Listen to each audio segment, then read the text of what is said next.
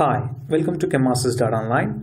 Get registration on website chemmasters.online or get a mobile app from Google Play Stores that is Chemmasters and uh, get registration on it to get more sample videos and join a course on CSIR NET, GATE Chemistry, JL, DL, SET, IIT Chemistry if you are interested. Okay, easiest concept with easy explanations. So and with advanced chemistry. So that is our strength. Right now we are discussing on asymmetric induction. So in that now we are discussing on auxiliary controlled asymmetric synthesis.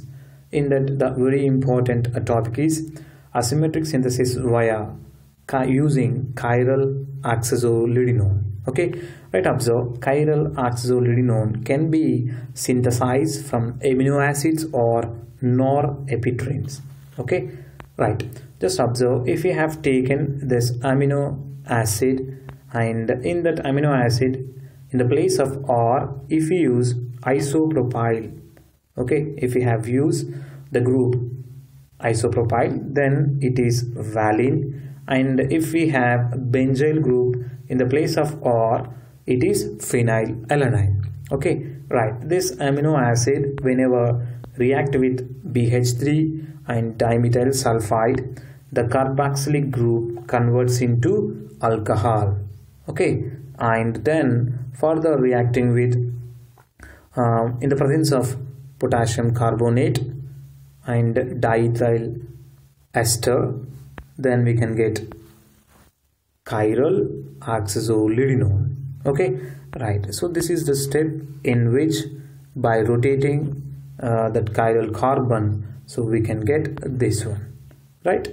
Now this chiral oxazolidinone whenever reacts with a chiral substrate here that is we have taken acid chloride triethylamine it abstract proton from that nitrogen of oxazolidinone and formation of negative charge on it and that can attack onto this um, a chiral acid chloride okay right. And further reacting with lithium diisopropyl amide it can abstract proton from alpha position of that carbonyl uh, substrate or intermediate and further just follow the arrows and there is a formation of enolate okay after formation of enolate you can observe there is a formation of six member ring with a lithium interactions onto uh, substrate oxygen and oxazolidinone auxiliary oxygen okay? You can observe that. And just observe the same as in uh, proper arrangement in which you can see total molecular arrangement or total molecular atoms are on the plane and uh, so the branch which is on the oxazolidinone is backside to the plane. You can observe it right? Now there is a enolate and enolate has two phases top phase or bottom phase or front phase or back phase. It is depends on your view on the plane of the molecule. Okay right. And if the enolate if attacks on ethyl iodide from bottom phase okay if it attacks from the bottom phase what happens? There will be the steric repulsions with that bulk uh, branch under uh, chiral oxazolidinone okay? So that is not favored. Hence so there is other phases there that is top phase if top phase attack on ethyl iodide is takes place then that is favored one. Because there will be no steric repulsions on above the plane of the molecular arrangement with chiral oxazolidinone on the sub given substrate. Okay so top phase attack is very favored on ethyl iodide. So from that we can get another intermediate. And reacting with uh, methyl methoxylithium or uh, lithium alcohol. We can get final product in which the ethyl group gets a uh, top phase or above the plane of that uh, carbonyl ester. So if we have taken methoxylithium we can get uh, ester here. If we have taken lithium alcohol we can get uh, um, acid here.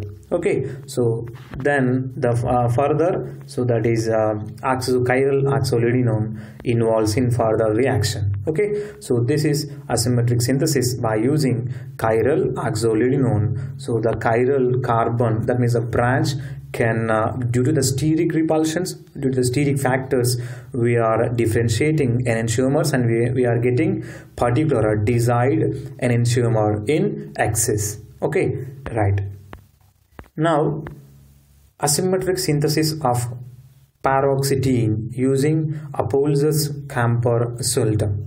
Okay, just observe this is the substrate and the substrate is reacting with camphor sultam. So this is camphor sultam that is uh, 1s uh, 210 camphor sultam. Okay, 1s 210 camphor sultam and uh, it whenever it reacts with sodium hydride. Sodium hydride is a strong base and it can abstract proton from this uh, uh, proton from the nitrogen of the camphor sultam right? And the negative charge can attack on the given substrate uh, substrate okay onto the carbonyl carbon. Then the cleavage of chlorine takes place from that substrate and we can get this intermediate okay?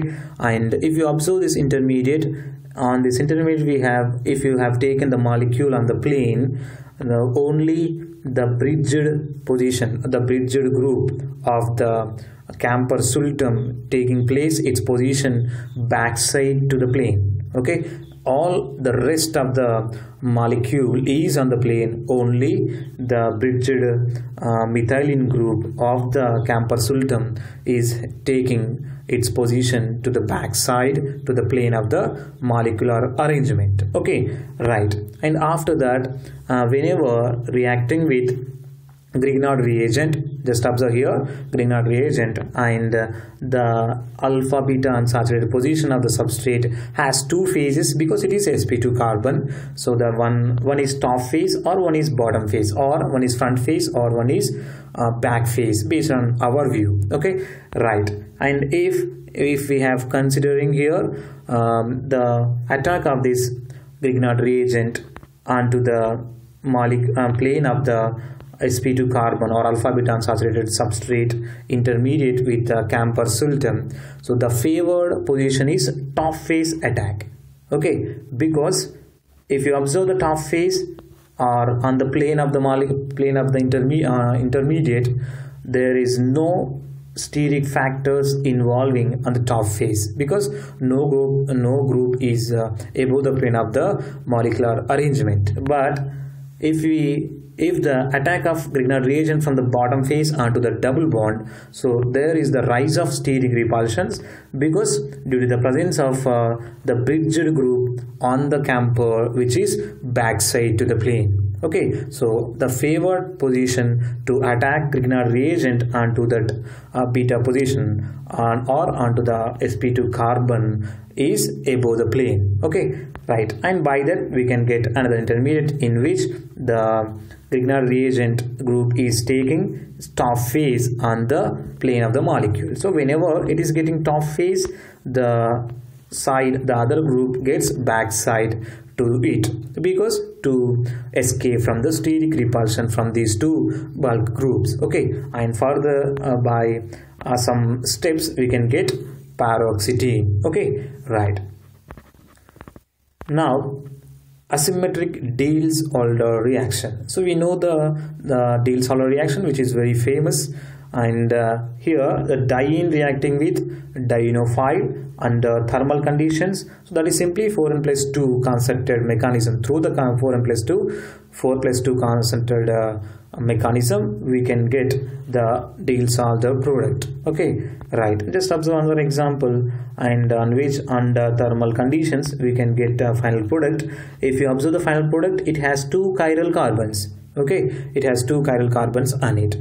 Right now the important one is Alder's endo rule. Okay? Important one is Alder's endo rule. Just observe it.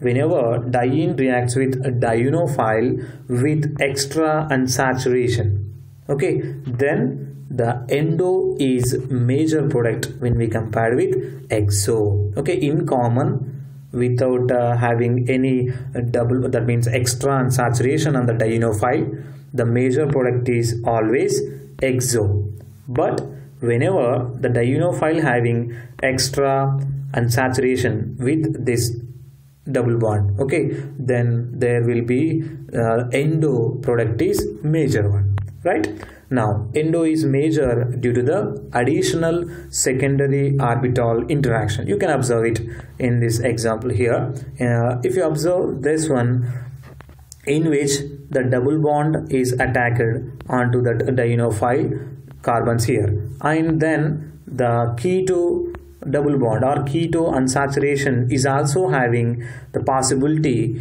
to make interactions with the double bonded uh, carbons on the diene okay? So that leads to the uh, greater stability to the product. Hence the endo is major when we compare with exo. So in exo only two interactions are possible because the other unsaturation which is present on the carbonyl group is away from the uh, diene dienic uh, carbons. Okay? Hence so there will be no interactions or secondary interactions on exo product. Hence when we compare with endo so endo having extra uh, orbital interactions that leads to more stability and that will be the major product. Okay? So that is only possible whenever dienophile has extra unsaturation on it okay right. And just observe some of the examples for uh, endo products. So if we have alpha beta unsaturated aldehyde endo is major. That is nearly 80 percent. And if we have alpha beta unsaturated ester so the endo is nearly 73 percent. And whenever we have alpha beta unsaturated nitrile the endo is 58 percent okay? And uh, if we have alpha beta unsaturated nitrile with the branches then exo is major. Because here involvement of steric repulsions. Okay? Right. Now in the above reaction the enantiomers are produced in 1 is to 1 ratios because all the starting materials are a chiral okay so that is not considered as asymmetric uh, synthesis or asymmetric reaction we have already discussed that uh, if the reaction produces unequal enantiomers or unequal diastereomers, then only we consider that reaction as asymmetric induction or asymmetric synthesis. Okay, right. In this uh, in this example, uh, in this um, uh, in the before in the next uh, in the slide which I have uh, already taken, so that has in uh, Diels-Alder reactions there will be no asymmetric there will be no chiral starting materials. Hence it produces 1 is to 1 ratios of enantiomer side enantiomers so it is not considered as asymmetric reaction. To be asymmetric reaction or to be asymmetric synthesis one of the starting material should be chiral okay? One of the starting materials should be chiral. That may be substrate or that may be solvent or that may be catalyst or that may be uh, reagent. Okay? Thus one of the starting material must be chiral to produce unequal ratios of stereo uh, products. Okay? Right now just consider di whenever diene reacts with dienophile here this dienophile is having chiral group on it. Okay? So this reaction this Diels-Alder reaction produces unequal ratios of products. Okay? And in this two we have get we have two uh, unequal products or endo products. Okay? Right. Let's consider diene reacting with a dienophile here under thermal conditions and auxiliary control diene a Diels-Alder reaction. Because we have taken uh, in the place of R we have taken auxiliary okay that is oxazolidinone right? And on the oxazolidinone we have the bulk group on that chiral carbon is backside to the plane of the molecule okay? Right. And uh, if you observe the product so we have two endo products in which this is the major endo product when we compare with this one. So just why here we have two endo products.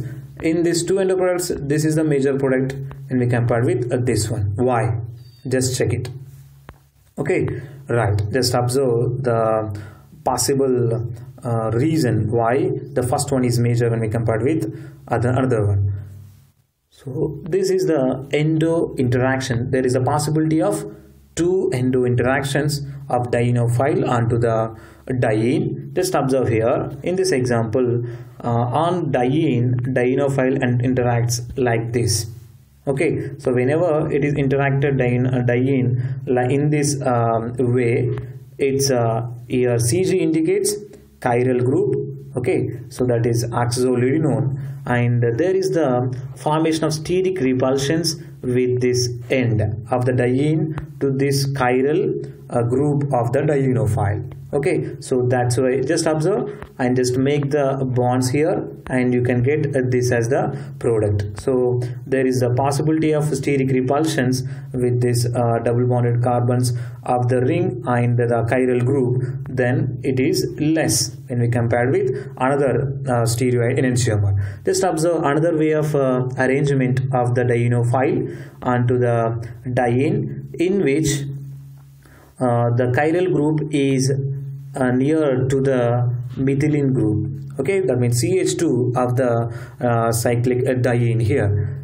In the reaction this methylene of the diene goes above the plane. Okay so consider this is the plane of the diene uh, cyclic diene so the methyl group goes above the plane. Okay so then there will be no steric repulsions to this uh, chiral group to that methylene group of the uh, cyclic diene okay so that leads to the product. Just uh, give the make the bonds uh, to this and you can get this is the product. So in which the connection of that uh, chiral group or carbonyl group is to the backside carbon. So whenever it is onto the backside carbon there will be no steric repulsions because the methylene of the diene goes above the plane. So just observe here. So that's why there will be no steric repulsions on here. So that's why that is the major product when we compare with front side uh, group. Okay right. Thank you